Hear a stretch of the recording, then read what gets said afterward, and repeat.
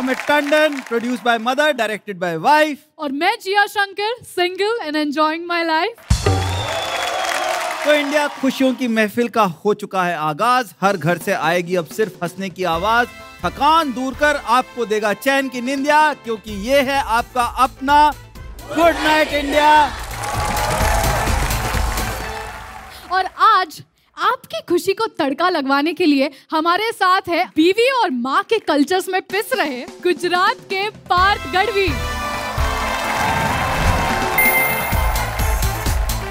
मैं हिंदू गुजराती लड़का और मैं एक मुस्लिम लड़की से शादी की है। हम खाने में ना ज़मीन आसमान का फ़र्क है।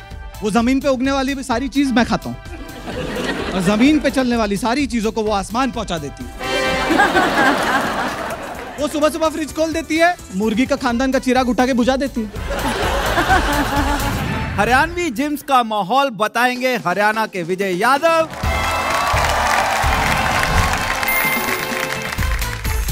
और मैं ना गुड़गांव रहता हूँ ना वहाँ पे मैंने एक चीज़ तो देखी है। आधे लौंडे जिम जा रहे हैं बाकी उन्हें खोल रखी है। मेरा एक दोस्त है जो जिम जाता है। ये फ़ोन पे भी ऐसे बात करता है और भाई क्या हाल है? जिया तुम्हें पता है औरत को हमेशा आदमी के ऊपर का दर्जा दिया गया क्योंकि उससे एक ज़िंदगी का जन्म होता है। हम्म और मर्दों से सिर्फ़ प्रॉब्लम्स का जन्म होता है। देखो मानने वाली चीज़ है हम हम मान रहे हैं कि यू नो तुम लोग बेटर हो पर इसका मतलब ये नहीं कि हम बिल्कुल फिसड्डी हैं क्यों? लेकिन अमित ये तो सच है। ये तो सच है कि लड़कियाँ लड़कों से कहीं ज़्यादा स्ट्रांग है। क्यों? यार इनके पेट में छोटी सी छोटी सी पतरी क्या हो गई? ये पूरा आसमान सिर पे उठा लेते और ये रूपाली त्यागी जब माँ बनने वाली थी तो उसके दिमाग में कॉमेडी चल रही थी। Please welcome Rupali Tyagi.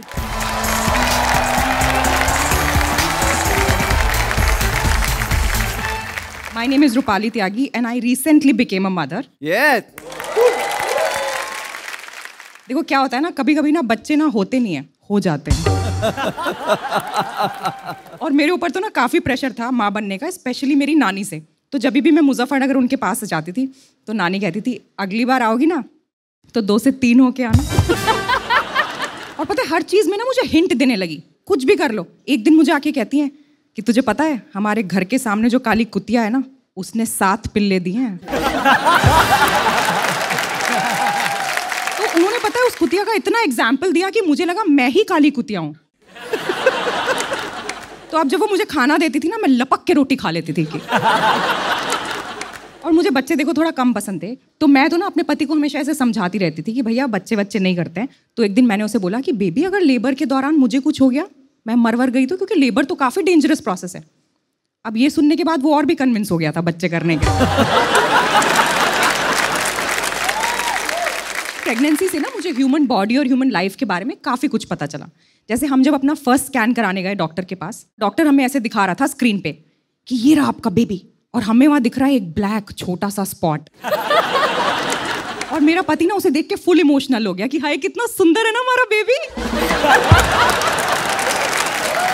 और मुझे इतना वाहियात लग रहा था ना, मैंने कहा तुम ही पे तो गया है। और तुमने देखिए, आजकल हर चीज़ के लिए ऐप होने लगी है, हर चीज़ के लिए। प्रेगनेंसी के लिए भी ऐप है। वो आपको बता रही है कि आपके बच्चे में कैसे ग्रोथ हो रही है डेली आज आपका बच्चा एक ग्रेप के साइज़ का है। आज आपका बच्चा एक एप्पल के साइज़ का है। आज आपका बच्चा एक बनाना के साइज़ का है। और अब मुझे तरबूज देख के इतना डर लगता है ना।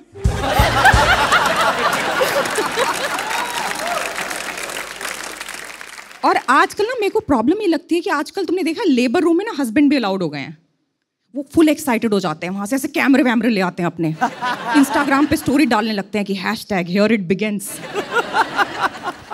तो मेरा पति तो ना मुझसे ज़्यादा एक्साइटेड हो गया लेबर रूम में। उसे लगा आज उसका ही मेन रोल है। और उसके बाद ना मेरी डॉक्टर मुझे हल्का फुल्का एनकरेज कर रही थी कि पुश पुश ये अचानक से फुल एक्साइटेड हो गया हाँ रूपाली पुश मेरी डॉक्टर थोड़ा सा हिल गई। उसे लगा वो अंडर परफॉर्म कर रही है। तो वो भी थोड़ी सी ना उसने अपनी वॉल्यूम सी बढ़ा दी तो ये और तेज बोलने लगा। तो बोली yes Rupali no pain no gain तो तो मेरे पति को लगा कि बस मुहावरे बोल देने चाहिए। कहता है, करत करत अभ्यास के, जड़ीमती होत सुजान. मैंने कहा, पहले तो ये साहित्यकार को बाहर निकालो, कमरे से। और पता है, जब आप प्रेग्नेंट होते हो ना तो आपको उस दुनिया के सारे लोग ना हर कोई एक नुस्खा दे के चला जाता है। जैसे जब मैं सेवन मंथ प्रेग्नेंट थी ना तो एक अंकल मेरे पास आके बोलते हैं कि, बेटा, अब ना तुम अपने बेबी से बात करने लगो। अभी से, इससे ना तुम्हारा बेबी के साथ बॉन्ड बन जाएगा। अब मैं सेवन मंथ प्रेग्नेंट हूँ हाँ? ऐसे मेरा एक ह्यूज बम्प है। बच्चा ऑलरेडी हेड डाउन पोजीशन में है। उसे मुझसे बॉन्ड बनाने में कोई इंटरेस्ट नहीं है अभी। वो तो सोच रहा है कब बुलंद दरवाज़ा खुले और मैं निकलूं बाहर। That was my time and you have been a lovely audience. Thank you so much.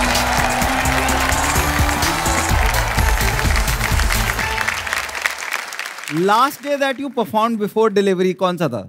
यही वाला सेट था. एक्चुअली मैं यही नए जोक्स लिख रही थी और आई थिंक मैंने डिलीवरी के तीन दिन पहले भी परफॉर्म किया और मेरे को तो ना ऐसे स्टैंड अप करते हुए बहुत डर लगने लगा था कि कहीं आज लाफ्टर के साथ बच्चा भी ना मिल जाए।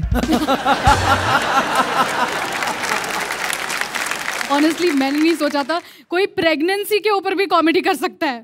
Thank you so much Rupali please have Thank-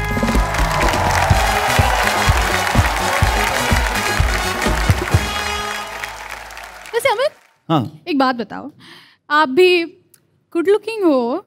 चल झूठी। तो आपका कभी मन नहीं किया ऐसे फ़िल्मों में ट्राई करने का कि मैं भी हीरो बन जाऊँ? या मैं एक बार ऑडिशन देने गया था सी बात नहीं। देखो सबको गलत फहमी तो होती है। रोल का ऑडिशन लेने से पहले उन्होंने कहा कि कपड़े उतार के दिखाओ कि एब्स कितने हैं तुम्हारे। मतलब मैंने कहा कि यार देखो रोल नहीं देना तो वैसे बता दो। बुला के क्यों जलील कर रहे हो यार आदमी को? लेकिन वैसे वो भी सही है यार। मतलब आजकल लोग बहुत ही हेल्थ कॉन्शियस हो गए हैं नहीं? तो आपको भी थोड़ा सा होना चाहिए। देखो हेल्थ कॉन्शियस ऑनेस्टली मैं हुआ था एक बार बीच में। अब मैं सिर्फ़ कॉन्शियस रह गया हूँ। मैं आपको बताता हूँ एक बार आप बैठिए, मैं आगे सुनाता हूँ कहानी।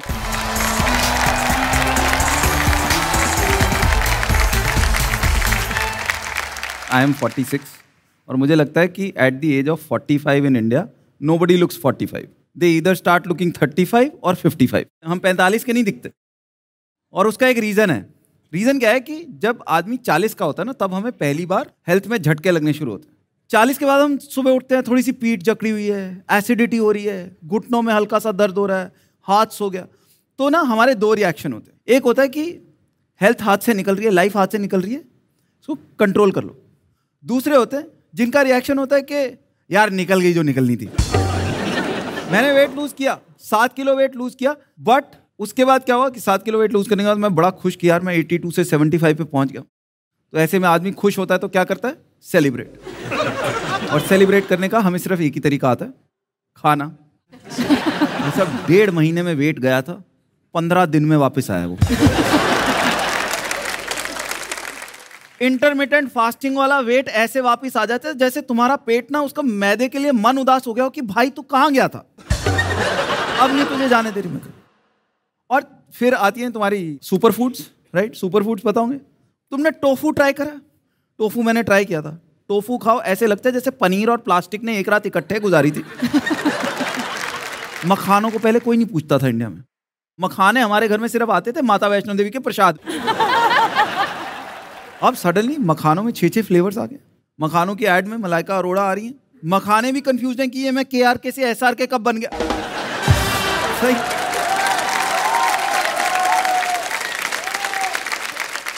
इंडिया में ना वेट लॉस बड़ा मुश्किल। क्योंकि वेट लॉस के लिए ना डाइटिंग के लिए प्रॉपर लॉजिक चाहिए होता। है डाइटिंग का बेसिक लॉजिक है कि ब्रेकफास्ट हैवी करो लंच ओके करो डिनर हल्का करो राइट हमें लॉजिक नहीं होता। हमें होता जोश। हमें जोश चढ़ता सुबह छह बजे से। नाश्ते में ना आधा एप्पल काट के दे दे मैं डाइटिंग को चाय में चीनी मत डाल, दूध भी मत डाल, यार मैं डाइटिंग ब्लैक टी दे। लंच में ऐसा कर, चने पैक कर मैं डाइटिंग को वो शाम को सात बजते बजते हमारी आंतड़ियाँ हो जाती इकट्ठी शक्ल लटक के घुटनों पे पहुँची होती और आदमी ना डिप्रेशन में बैठा होता है डाइनिंग टेबल पे कि यार, फिर जी क्यों रहे हैं यार ले आ यार, गुलाब जामुन डाल के दे यार तो थोड़ी आइसक्रीम भी डाल दे यार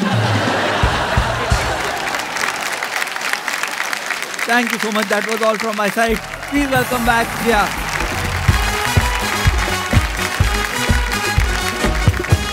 बहुत दादा अमित जी के लिए बेक छोले भटूरे लाना?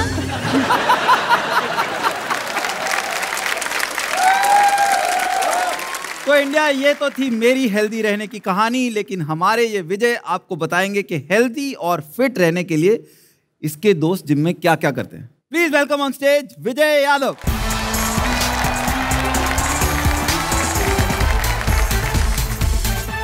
मेरा एक दोस्त है जो जिम जाता है।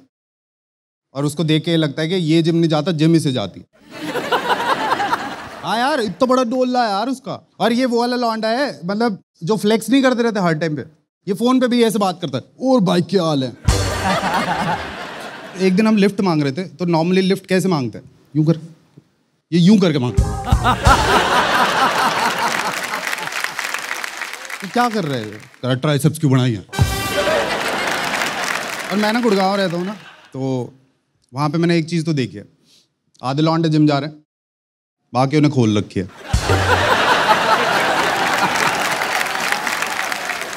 और मेरे दोस्त वाला है कि ना, जिसको, इसको करवानी भी दूसरों को है जिम, कि तेरे पास आएगा, जैसे मेरे को भी बोलता रहता है, कि जिम जा कर यार। देखा टांगा देखी तूने कितनी पतली हो रखी थी। मैं कहता तू क्या करना फिर उससे? स्कैट्स करा कर। तीन दिन तो समझ नहीं आया यार मेरे क्या बोल गए उसने जब करके दिखाया ना, तब समझ आया मुझे। स्कॉट्स नहीं बोलते इसे? यार हाँ भाई स्कैट्स यार मुझे ना जिम्स का वो नहीं समझ में आता कि ना जिम्स में कुछ भी गाने बजाते रहते यार। लाइक दिल्ली में सोफिस्टिकेटेड वाली जिम्स है थोड़ी सी कि भी है ना लाइक जिसमें इंग्लिश गाने बजा रहे हैं। हमारे मोहल्ले वाले जिम में आओ तुम एक बार। सुबह चार बजे अल्ताफ राजा बजा रखा होता है इन्होंने। हाँ यार कुछ भी यार और रो रहा है बैठ के यार वो जिम वाला। तुझे क्या दुख हो गया यार सुबह चार बजे यार? यार डोला नहीं बन रहा यार। एक तो पंजाबी गानों से तो नफरत है भाई मुझे। एक दिन हम ऐसे स्कैट्स कर रहे हैं, सॉरी, स्कॉट्स कर रहे हैं। चार लड़के हम ऐसे स्कॉट्स कर स्कॉट्स कर रहे। ऐसे लाइन में खड़े और पीछे पंजाबी गाना बज रहा है। इट्स ओके, ठीक है, मैं तो अपनी फ़ील्ड में था, नॉर्मल अपना चल रहा है। एक लौंडा नीचे गया और ऊपर यूँ आया।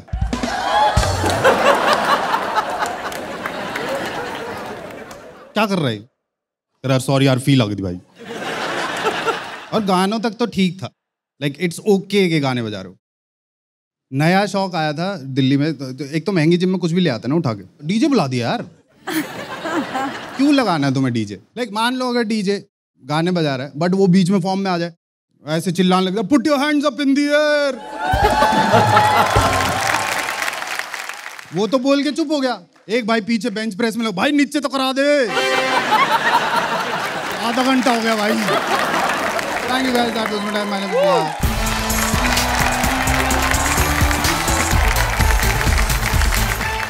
भाई विजय एक बात बता। हाँ जिम गया कितने दिन? यार मैं दो दिन गया था। एक दिन फ़ीस भरने गया था और दूसरा रिफंड पूछने। Thank you so much for coming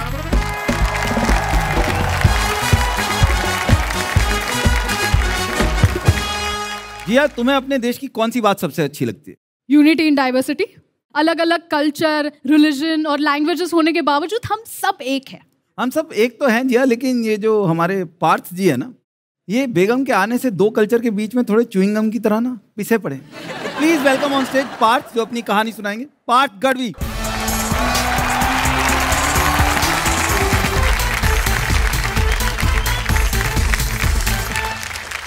hello मैं पार्थ हूँ मैं गुजराती हूँ। गुजराती होने का मैंने सबूत तभी प्रूव किया जब ये चैनल वालों ने पीछे पूछा कि पार्थ तेरी कॉमेडी में हमको इंटरेस्ट है। मैंने बोला कितना टका? हाँ बिज़नेस की बात बोल भाई धंधा है यार। हाय जिया। हाय मैं आपसे तो नहीं मिला पर आपका ड्रेस गोरेगांव तक आया था। मैं सब पकड़ पकड़ के एड्रेस भी नहीं पूछा मैंने। अमित सर मेरे इंस्पिरेशन है। मैं बताता हूँ क्यों। क्योंकि शादी का रिटर्न ऑफ़ इन्वेस्टमेंट सिर्फ़ इनके घर पे है। इन्होंने जितना खर्चा किया है ऐसा शादी में वो सब वापस ले लिया कमा के मटेरियल कर करके। तो मैंने सोचा मैं भी अपनी शादी के बारे में बोल देता हूँ। मैं हिंदू गुजराती लड़का और मैं एक मुस्लिम लड़की से शादी की है। ओ हाँ। कोर्ट मैरिज कोर्ट मैरिज सस्ते में निपटा लिया।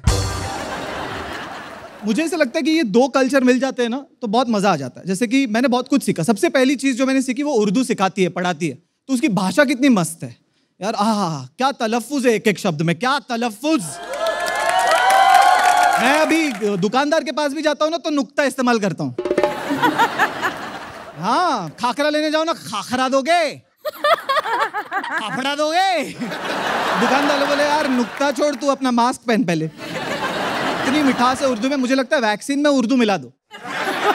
हमारा ना एग्रेशन ही कम हो जाएगा, मैं सच बोल रहा हूँ। आप देखिए टॉयलेट कैसे सुनता है ना? ऐसा अच्छा नहीं लगता है ना? उन लोग पाखाना बोलते हैं उसको।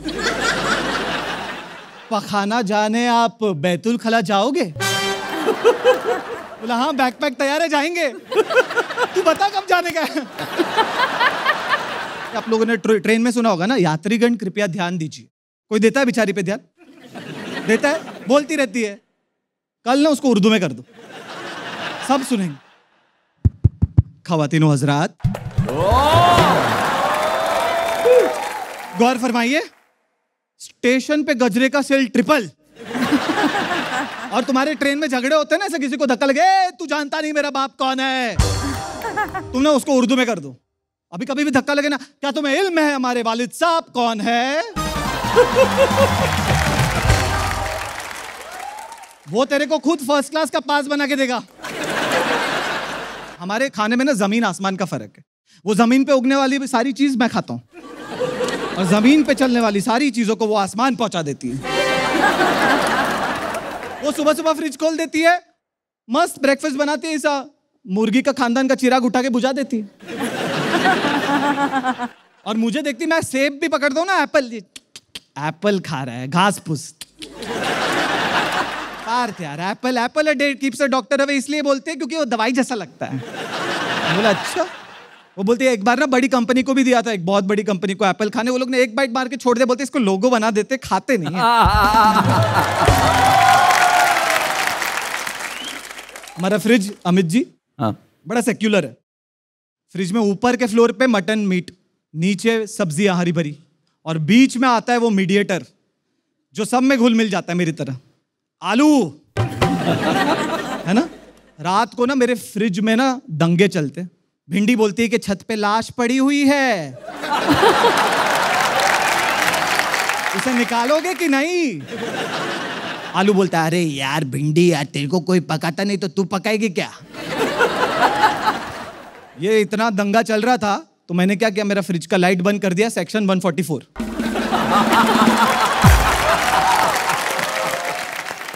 मैं जाते जाते ये बता दूँ, मैं ईद की दावत पे गया था मेरी वाइफ की। बोलती, पार्थ, चल ना, पनीर मिलेगा। गया उसकी दावत पे, फुल दस्तर खान लगा हुआ है। हाँ हाँ जिस पे खाना खिलाते उसका भी सरनेम खान है। मैंने बोला, अरे यार, तेरे कजिन तो बड़े मस्त थे वो कुछ फूक रहे थे। मैं बोला, क्या म्यूजिकल इंस्ट्रूमेंट बजा रहे? पार तो हड्डी चूस रहे।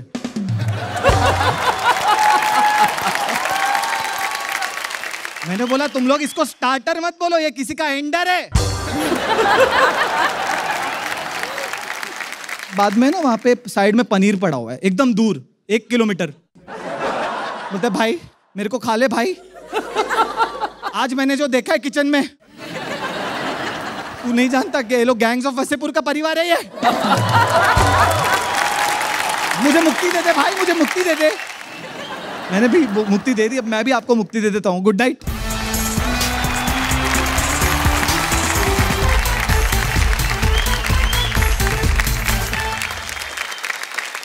तो वैसे मैंने देख लिया तेरे सेट से मुझे ये समझ में आया कल्चर कोई भी हो कहीं भी हो बीवियाँ सेम ही होती हैं। हाँ वो एग्जैक्टली ताने तो हर जगह खाने को मिल रहे हैं राइट बस फ़र्क इतना है सर कि आप ना अपनी भाभी को कुछ बोलते होगे तो वो सुनो बोलती होगी मैं बोलता हूँ तो वो इरशाद बोलती है। गाली भी इरशाद में। Thank you so much for thank you. Coming please जोरदार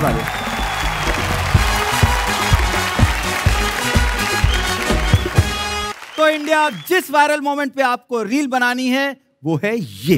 मुझे ना जिम्स का वो नहीं समझ में आता कि ना जिम्स में कुछ भी गाने बजाते रहते यार। लाइक दिल्ली में सोफिस्टिकेटेड वाली जिम्स है थोड़ी सी कि भी है ना लाइक जिसमें इंग्लिश गाने बजा रहे हमारे मोहल्ले वाले जिम में आओ तुम्हें सुबह चार बजे अल्ताफ राजा बजा रखा होता है अरे इन्होंने। याद रखिए हम सबको टैग करना है तो इंडिया ये थी आज की पर्सनल महफिल ऐसे ही रोज़ाना आएँगे रात साढ़े दस बजे लेकर आपके लिए हैप्पीनेस का hamper only on thank you so much